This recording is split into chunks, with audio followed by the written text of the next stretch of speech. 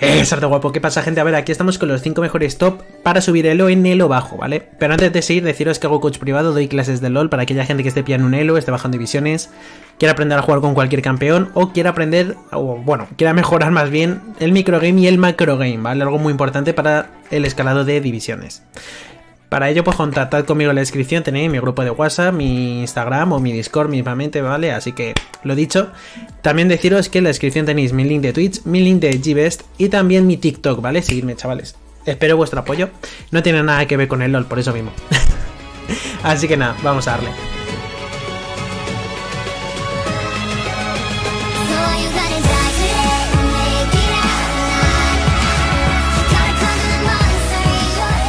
Vamos a ir con el primer campeón, en este caso sería Garen, ¿vale? Evidentemente lo sé, eh, típico personaje, es el más fácil del juego, es el top más fácil.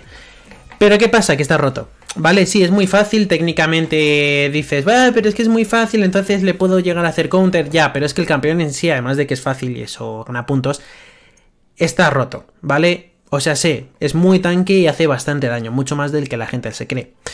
Eh, tiene muchísimo sustain en línea, tiene el silencio de la Q, tiene el tema de la W para aguantar más, que aunque sea un poco mierdas, algo es algo. Tiene el tema de la E, ¿vale? Ruedas, eh, haces daño de continuo y una R para la gitear. Es perfecto para, pues eso, eh, peleas alargadas, por eso mismo se suele jugar mucho con el conquistador, porque las peleas se suelen alargar, tú eres tanque, el enemigo suele ser tanque, o suele haber algún tanque en el equipo enemigo, entonces las peleas se alargan, y eso, la runa del conquistador la vas escalando y consigues mucho daño y mucho robo de vida. Aún así también se está jugando con irrupción de fase, ¿vale? Por el tema de la velocidad de, de movimiento que te da, entonces no se te escapa nadie.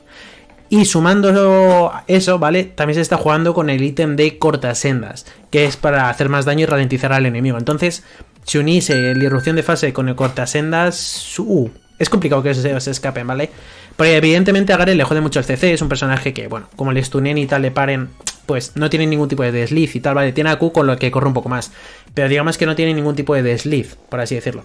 Así que lo que os decía, chicos, Garen, 100%, haceme caso. Segundo campeón, Yorick.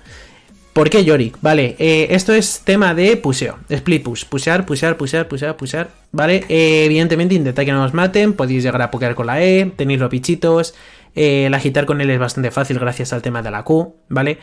luego tiene uno de los. Bueno, CC no. la cárcel que tiene, que está rotísima, ¿vale? Como encierres a alguien ahí, luego se come todas las hostias de tu Q, de los bichitos y de la, y de la R. ¿Y qué pasa? Que es que está hecho para pusear por el tema de la R, ¿vale? Te ayuda a pusar líneas, a hacer minions, incluso hacer más daño a la torre. Por eso mismo se juega con una parte con el conquistador, ¿vale? Como runa o con garra del inmortal. Conquistadores para peleas alargadas y mmm, contraataques, evidentemente. Y garras del y garra del inmortal es más por el tema del sustain, ¿vale? Consigues, además de que en fase líneas puedes pokear, por así decirlo. La garra inmortal, digamos que Tú das un basicazo de la hostia, ¿vale? Hace más daño, pero también consigues más vida máxima, te cubras. Es para tener sustain, pero luego también tener más vida máxima y también llegar a pokear. Pero bueno, si queréis ir más agresivo con Yorick, evidentemente es mejor el conquistador. Pero bueno, el Garra Inmortal está entre medias, ¿vale? Es entre el Yorick tanquecito que aguanta y tal, pero que también hace daño en fase líneas y toca los cojones. Pero eso le da también mucho sustain. Y en cuanto al tema de los ítems, ¿vale? Por una parte está el desgarrador divino y por otra la Trinidad, ¿vale? El desgarrador divino Después de hacer una habilidad, hace más daño y tal. La Trinidad viene a ser lo mismo. ¿Vale? Lo único que cambia el tema de la pasiva. Sobre todo, la pasiva de cada, de cada uno. ¿Qué pasa? Que a Yorick sí se le tiene que jugar con rompecascos. Sí o sí, ¿vale? Es el ítem hecho para split pusher. Y Yorick tiene que split pushear. Si no haces push con Yorick, es mierda, ¿vale? Eso sí, evidentemente es un poco más rollo macro game, tienes que estar muy atento, tener, eh, usar muy con cabeza el teleport. Pero bueno, una vez le pillas el truquillo, te das cuenta de que además de que está bastante roto, farmea muy bien, rompe muy rápido las torres, y eso es mucha presión en el equipo enemigo. Porque no siempre tenéis que pelear. Y en los bajos lo que le pasa a mucha gente es que solamente pelea, pelea, pelea, pelea. Como tercer campeón, Kale, ¿vale? Eh, como AP en top, eh, yo creo que es de los mejores siempre y cuando sea a distancia, ¿vale? Es un personaje que en early game, al, al comienzo de partida, sí que es un poco mierdas, ¿vale? Y muchos dirán, juega al principio de partida me mata. Bueno, pues juega defensivo, eh, tiene algo de rango, no mucho al principio. Juegas defensivo y cuando le empiezan a salir las alas del culo, ¿vale? Y entonces empieza ahí a tener más de rango, daño en área, más alcance y su puta madre. Y más daño y esas mierdas. Creo que me he repetido, da igual. Tiene mazo de mierdas y entonces ¿qué pasa? Que llega un momento en el que es que es imparable, ¿vale? Te empieza a dar básicos y es que ni ves las espadas. Lo bueno que tiene mucho sustain. Eh, además, gracias al sustain también tiene luego velocidad de, movimiento, cosa que se agradece bastante. Tiene muchísima velocidad de ataque, ralentiza con el tema de la Q. Eh, tiene el tema de la R para hacerse invulnerable durante unos segundos. Y encima esa misma R luego hace daño y, y daño en área, que hay que tenerlo en cuenta. Kayle en una teamfight puede reventar ella sola a todo el equipo enemigo, ¿vale? Siempre y cuando te posiciones bien. No subestimes a Kayle. Y en cuanto al tema de las runas, se suele jugar siempre con compás letal para conseguir ese máximo de velocidad de ataque en 0, y ponerte ahí a dar hostias a full. Y en cuanto al ítem, crear grietas, ¿vale? Es el que mejor le va, además contra tanques va muy, muy, muy bien. Es bastante, bastante efectivo. Como cuarto campeón, Mordekaiser, ¿vale? Otro AP.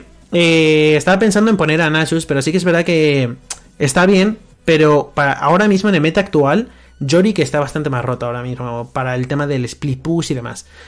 Eh, podéis optar o bien por Yorick o por Nasus, pero bueno, vamos con Mordekaiser. AP, tanque, sustain, tiene un escudito que, que muy nice. Eh, tiene el tema del CC de la E, que quieras que no tiene bastante rango esa mierda. Y una buena R, ¿qué, es lo que tiene la R? ¿Por qué es tan efectiva? Cuando el enemigo se vaya a hacer, el jungla enemigo, por ejemplo, se vaya a hacer el Drake, el varón, el heraldo, lo que coño sea, te metes con la R, le metes la R y entonces ¿qué pasa? Que le, le quitas la teamfight. Al quitarle de la teamfight, lo que haces es que no pueda tirar el smite, porque está en, pues en el mundo del morde, no sé cómo se llamaba la R de Wall. Está metido ahí, entonces ¿qué pasa? Que no puede hacer nada. Y ahí es cuando te tienes que aprovechar.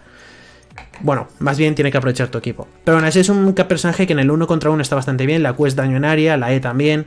Y luego eh, la propia pasiva es daño en área. Para farmear minions y pusear líneas también está bastante bien. Y luego en, uno contra varios también está bastante bien. Tiene muchísimo sustain, como os he dicho, y es daño en área. Así que quieras que no, que hay varios, pues bueno, puedes aprovechar el daño en área.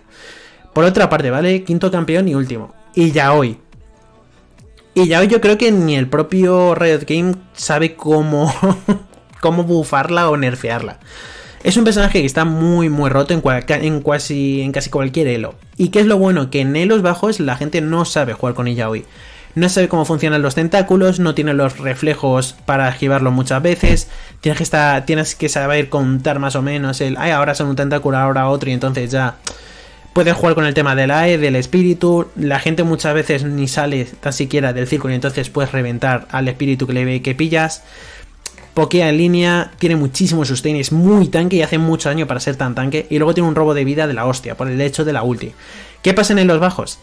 Que la gente con la R de Yaoi, que incluso pasen en los altos muchas veces, no sé por qué coño se siguen se quedan dentro de la R de Yaoi. ¿Y qué pasa? Cuanto más tentáculos, además de que se ponen ahí agresivos de cojones, se cura un huevazo Yaoi. Entonces, ¿qué pasa? Que eh, todo el mundo en, dentro del, de la R de Yaoi evidentemente pues, te puedes llegar a hacer cuadras y pentas. Os lo digo ¿por qué? porque está jugando en los bajos y es que ya hoy es bestial. Es muy bestia. Ya no es el simple hecho de que la sepas usar muy bien o no, sino que además es que no es complicada, ¿vale? Es un personaje bastante fácil de usar.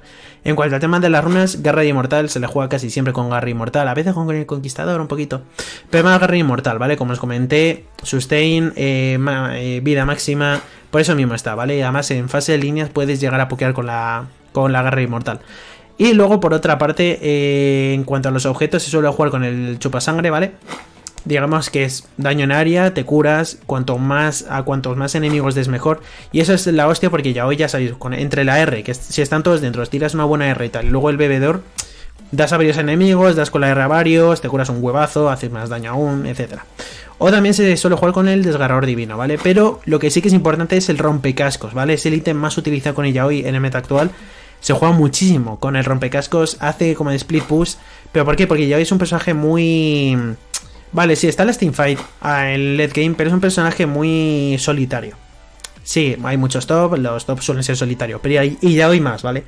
Porque luego, cuando ya en el uno contra uno has reventado, luego ya en la Fight te cagas. Así que nada, hasta aquí el tema de los 5 tops. Y por nada más, chicos, todo un placer. Hasta aquí el vídeo, espero que os haya rentado. Eh, se agradece el tema del apoyo, los likes, los comentarios. Eh, como os dije al principio del vídeo, hago coach privado, doy clases de LOL para aquella gente que esté pillando un elo, o esté bajando divisiones, o quiera aprender a jugar con cualquier campeón, o mejorar su microgame y su macrogame, ¿vale? Algo muy importante para el escalado de divisiones. En la descripción podéis contactar conmigo pues, por mis grupos de WhatsApp, mi Discord, mi Instagram, por donde queráis. Y también deciros que en la descripción tenéis mi canal de Twitch y mi TikTok, ¿vale? No tiene nada que ver con el LOL, así que echarle un ojo porque me dice mucho la pena, yo creo. Y luego también tenéis el link de G-Best, ¿vale? Como eso es de esos complementos vitamínicos y bebidas energéticas que veis ahí, las aconsejo 100%. Así que nada, chicos, un placer. Y hasta el siguiente.